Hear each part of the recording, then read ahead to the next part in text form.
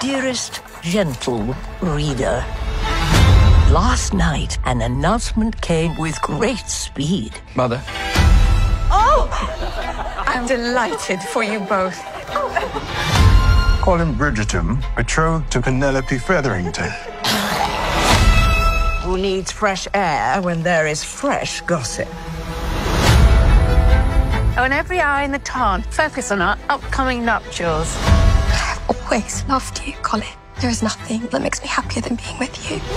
You have not told him, but you always will. Eloise, please do not tell him. He will find out. Congratulations. But you must admit, it's all rather sudden. I have known her a very long time.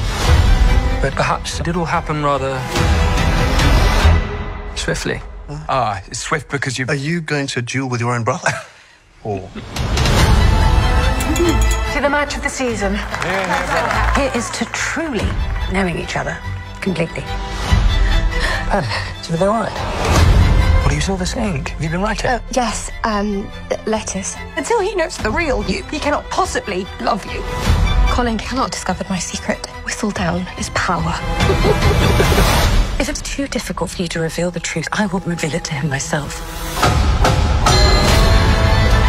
Is there some secret you are not telling me? Colin, I can take care of myself. Then what good am I to you? While most seasons of our marriage mart follow a pattern, this season is surely a surprise. Your duty is to cater to Mr. Bridgerton's dreams. What about my dreams? Ladies do not have dreams. They have husbands. Gossip as I might. This author cannot tolerate a lie.